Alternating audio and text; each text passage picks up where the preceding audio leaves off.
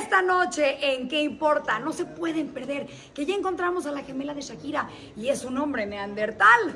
Además, Britney Spears tiene gran fiesta para festejar su divorcio. Ah. ¿Y qué más?